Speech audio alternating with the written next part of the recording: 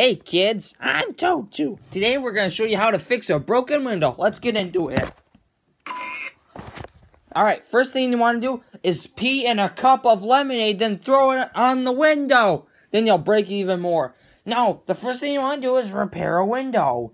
Okay? You need some welding, you need some tools. Like a hammer? No.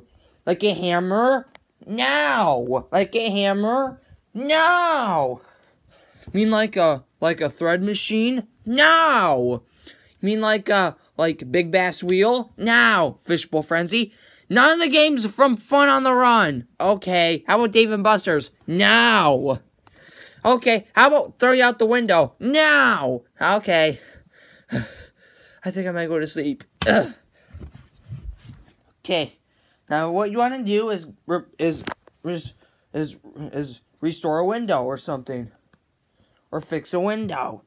You might want to reset the window or something with the reset button. There's a reset see reset button on the back of it. If you if you say Jumanji anytime near, if you say Jumanji anywhere anytime near the window, you'll get punched in the sorcerer's code. Yeah, I don't think that actually works. Because it does, it does. Okay, so the last thing you want to do is hate Monty because he peed on his mom and Bree takes favorites.